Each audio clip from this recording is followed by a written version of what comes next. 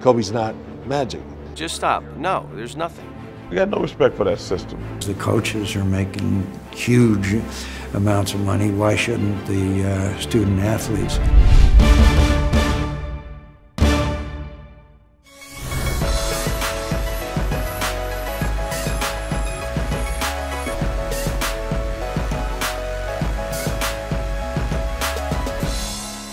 Senator John McCain, welcome to the Seth Davis Show. Thank you, Seth. It's good to be with you. What an honor. Thanks for carving out some, some time for us. You seem like you're in a real good mood. I'm guessing it's uh, any combination of three reasons. The Cardinals look like a playoff team.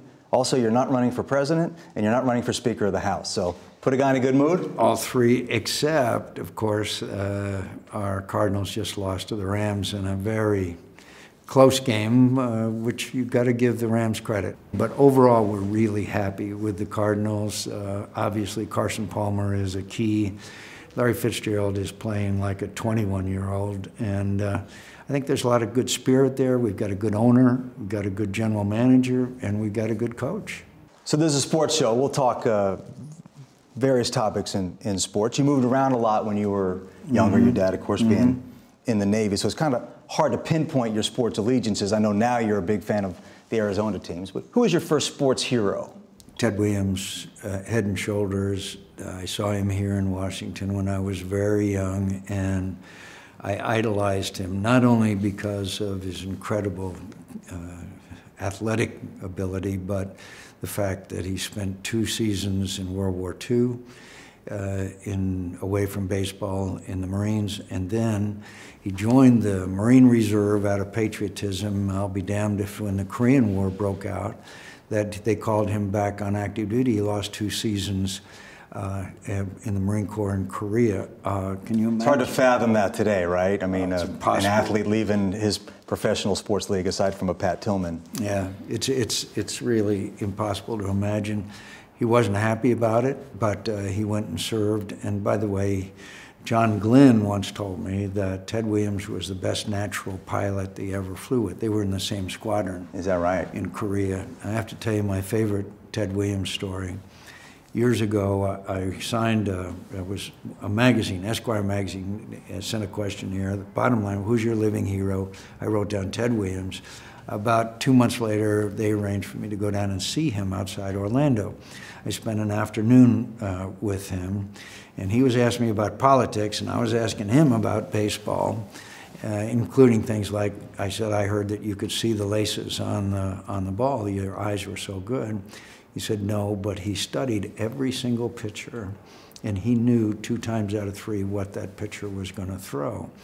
But most interesting was that I knew that he, while flying in Korea in a Marine jet, the first really Marine jet plane, his plane was shot up, it was on fire, and he couldn't get his wheels down, and yet he went and made a wheels up landing at outlying field.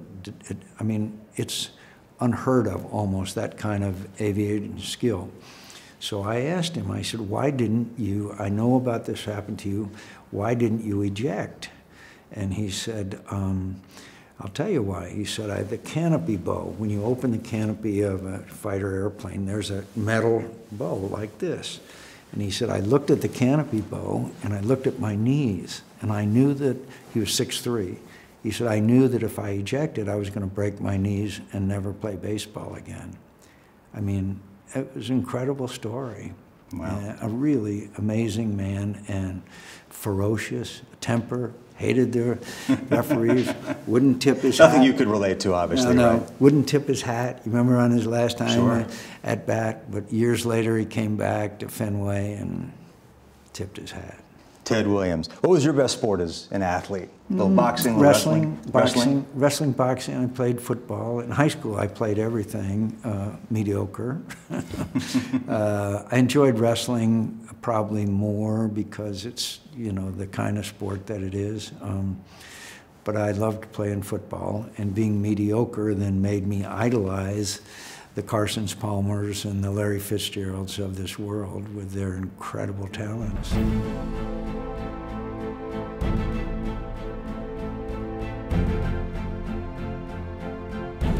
I, Senator, I've written often that um, sports matters very little, but it can mean a lot.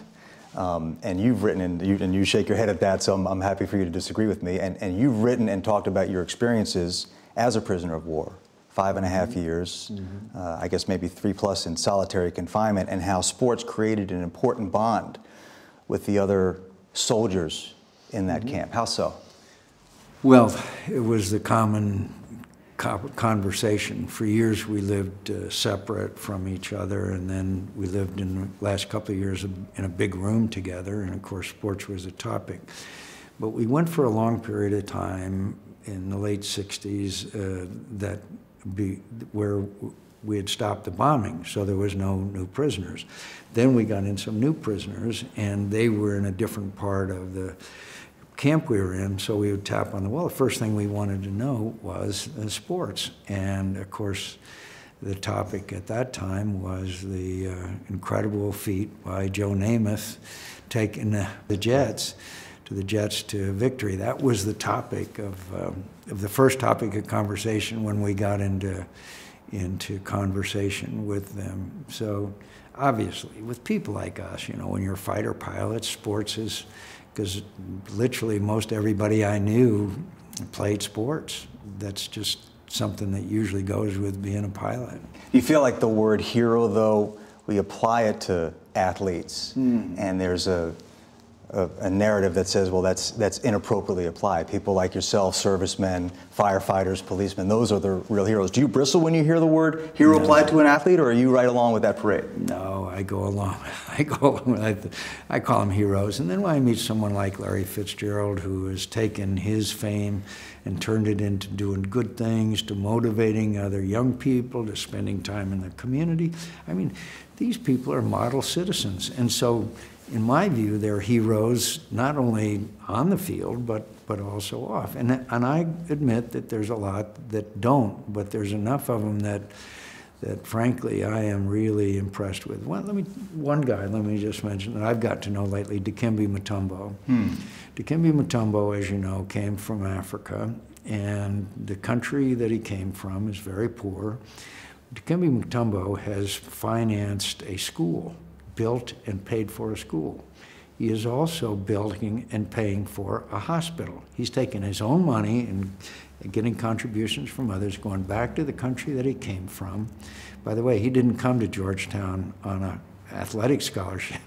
He came on an on a, on an exchange uh, scholarship, and when John Thompson saw him, thought, "Whoa!" As but this is the kind of athlete that I believe are the genuine heroes. Uh, Dikembe Mutombo spends a good part of his life in Africa trying to help others in his, in his country, and, and he's done a magnificent job. Navy's beaten Army 13 years in a row. Yep. Army ever going to win this game again? You want to talk a little trash here? You know, one of the great things about the Army Navy game is its competitiveness.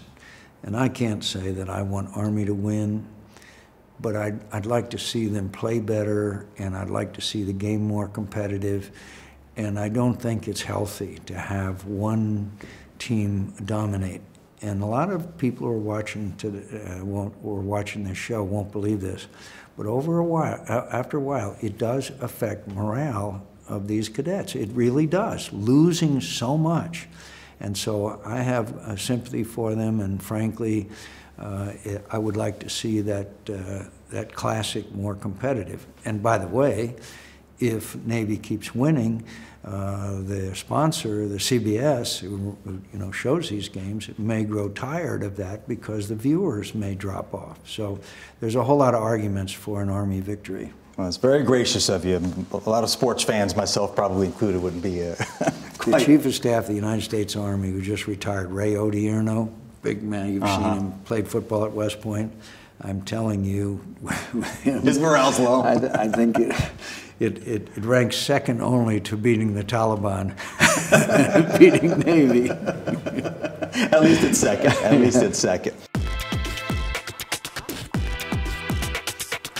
This is not your first interview, I take I'd like to get your feelings on college sports, mm-hmm. the NCAA, and um, what role, if any, you think Congress should play in, in uh, regulating this world. As a United States Senator, what's your number one concern about the way the NCAA does business? I think that obviously the, these athletes uh, deserve to have uh, a certain relaxation when they're out there practicing and playing football and all that, but there should be minimum academic standards. And every once in a while, we hear, I guess the last one I heard of was UNC, where they they really are basically not educating them at all. And now with basketball, they aren't. You know, it's it's one and gun, one and done. So uh, I worry about uh, a, a lot of those things. The thing I worry a lot also about is the effect of gambling on college sports. I am not a prude. I enjoy gambling. I just worry sometimes about uh, whether somebody's going to want to make a whole lot of money off of uh, uh, particularly a college basketball game. In football, I know there's this been, been this talk about paying athletes. On its surface, it sounds like there's a certain justice and logic here because the coaches are making huge amounts of money. Why shouldn't the uh, student athletes? Well, what I worry about is if you started something like that, wouldn't we start a bidding war, the same thing we do with professional athletes? I mean, would there be a ceiling as to how much they could be paid? I don't think so. Then you'd be violating their rights. You can't put a ceiling on someone's earnings. So I think we'd be getting into a real uh, complicated situation if we paid col college athletes. Um, but look, uh, college sports is still right up there with professional sports. We want to keep it clean, but uh, frankly, on the rarest of occasions, do I think that Congress should get involved. I mean, there's antitrust questions, for example. They're being sued. They've been found yeah. to violate antitrust law. Do, do, they need an exemption like some of the pro sports leagues? You don't want Congress having a say in that? No, I really don't. In fact, uh, one of the one of, I thought it was a mistake by uh, having professional sports uh, subject uh, to exemption from the Sherman Antitrust Act because I didn't see them taking advantage and then uh, blacking out television in local stadiums drives me crazy in local areas when it is the taxpayers that paid for the for the uh, stadium. Now, if the owners pay for, entirely for the stadium, they can do anything they want. But if they're paying taxpayers' dollars, then they shouldn't keep those taxpayers from being able to view the game on television if they don't have a ticket. You mentioned uh, gambling, very hot topic right mm -hmm. now. Um, and it seems like you've been increasingly at least open to the idea of legalized sports gambling across the board. It's kind of hard to think of another federal law that exempts only four states, really one state for the single game gambling. And now we have the question of whether internet gambling, these fantasy leagues, need to be regulated. Where is all this headed in, in your view? Where would you like it to be headed? I have such mixed emotions about it. We all know that gambling is addictive just the way, but alcohol is, is addictive too, but we still have legalized alcohol. We had an experience with that, with banning it. So I'm, I'm, I'm really torn, but internet gaming opens up all kinds of new questions for me. What about an internet poker game where you and I are in the poker game and we're sitting next to each other and I've got a lousy hand and I raise you and I keep raising you and kept raising you and then I fold. I mean, it seems to me that there's so many ways of manipulating uh, these games. But in the case of sports, I'd like to see some hearings on it. I'd like to see us try to come up with something that's a consensus, and there is no consensus right now. But I do understand the argument. If it's legal in one state, why in the world shouldn't it be in other states? Do I have to fly from Phoenix to Las Vegas to bet on the Arizona Cardinals next Sunday? I don't think so. Um, fantasy football, a little more complex, but it sure has caught on. My God. 10 years ago, hardly anybody ever heard of it. And that's exempted from the uh, Amateur yeah. uh, Gambling Act, right? Yeah, because it's obviously multitude and also I think it would be much harder to cheat on that, you know. You'd, so it, it is a, uh, I think, $40 billion a year business, And so it is really big money, so it does deserve the attention of Congress.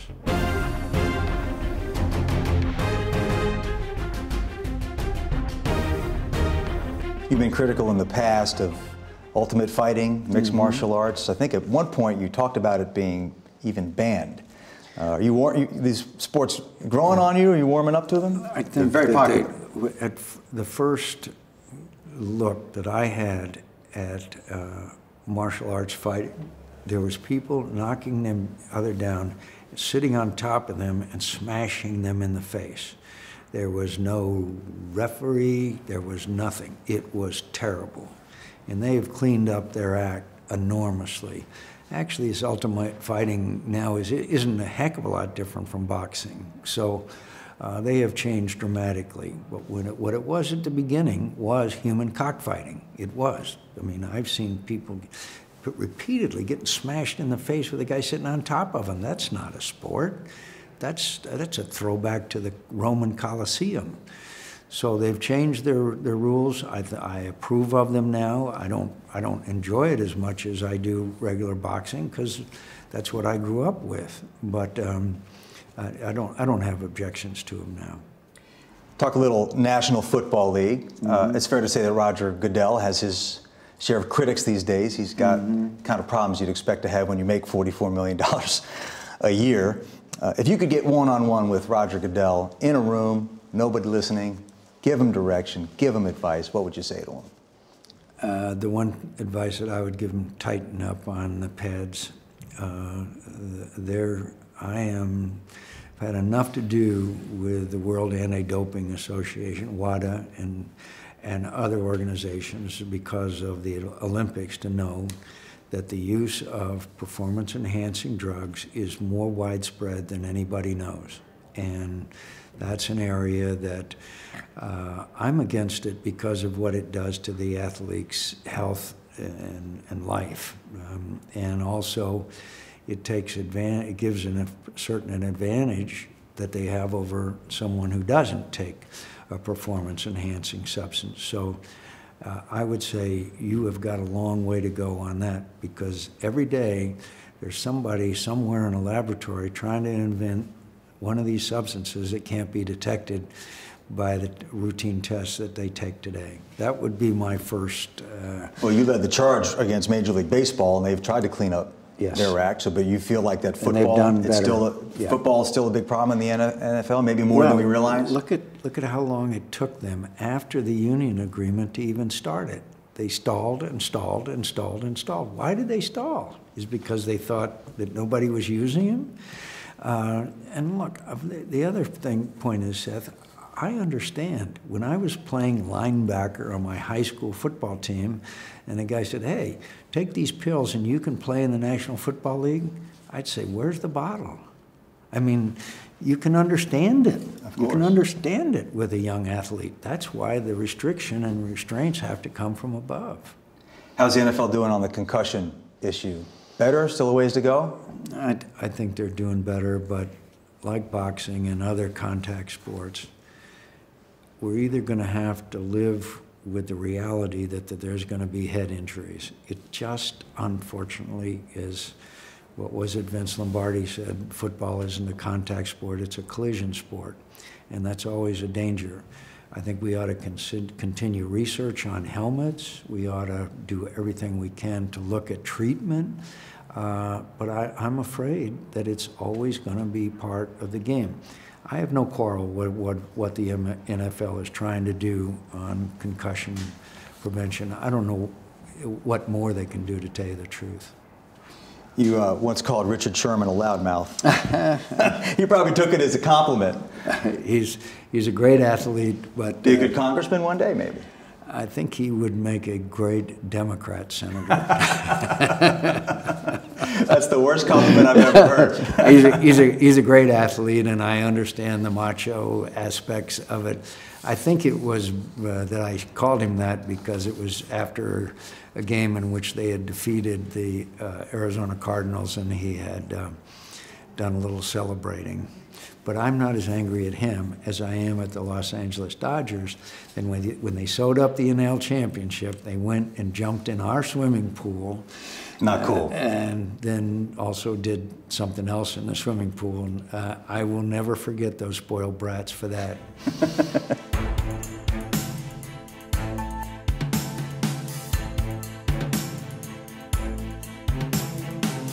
I can't resist asking you a little bit about politics. I promise I'm not going to mm-hmm. ask you about Donald Trump.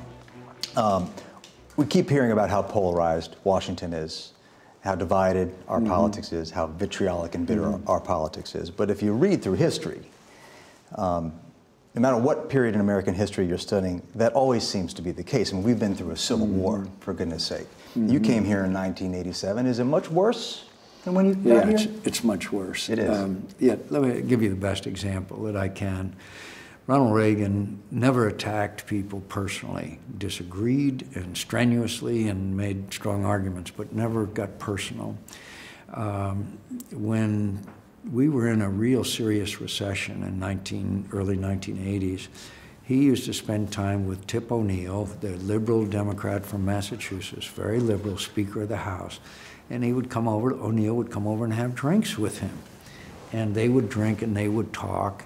And finally, at one point, when Social Security was about to go bankrupt, they both walked out of the White House and said, Here's what we're going to do. We're going to raise your taxes. We're going to raise the retirement age. We're going to have some tough measures, but we're going to save Social Security. Who could fight against that? Where is the Ronald Reagan and the Tip O'Neill today?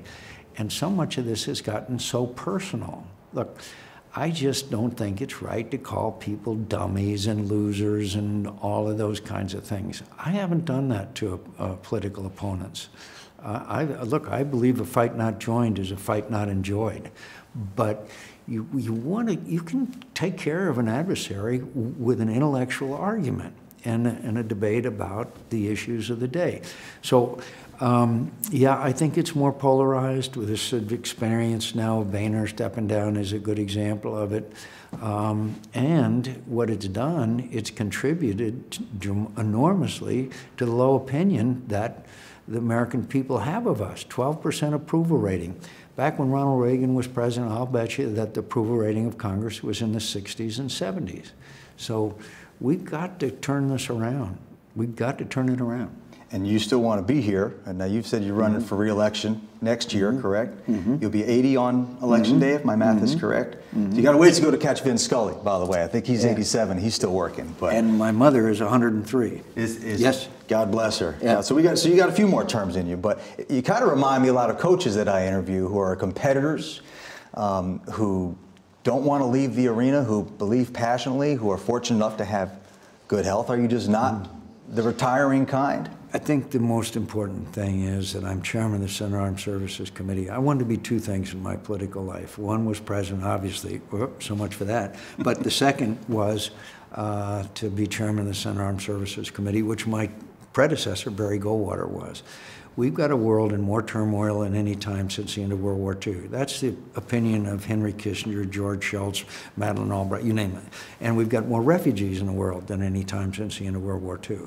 So, and we've got a military that needs to do a lot of reforms and a lot of fixes. And so I've been busier in the last year as chairman of the Armed Services Committee than I have ever been at any time in my career. And so I think I've got a lot to do and I think I can do it. And that's really why I, I'd like to, why I'm seeking reelection. And by the way, it's going to be a tough fight. It's going to be a real tough fight. Most of them are. Senator McCain, this was an honor. Thank you for having us. Good luck to your Cardinals. Thank you, Seth. And, And, uh, thank you our, for your service. and our coyotes. We didn't even talk about how we got we got to keep them in Arizona and how the, Diamondbacks need pitching. There's a whole lot of things. You Now, better the, come the back. Suns, the, Yeah, the Suns going to have an all right season. Uh, that they they still haven't. Uh, you know, ever since Steve Nash left, uh, they haven't been the same. Well, I'll see what I can do for you. Thanks, Thank you for being here, Senator. Okay. Thank you for your service to our country. Thank you. It's an honor to be with you.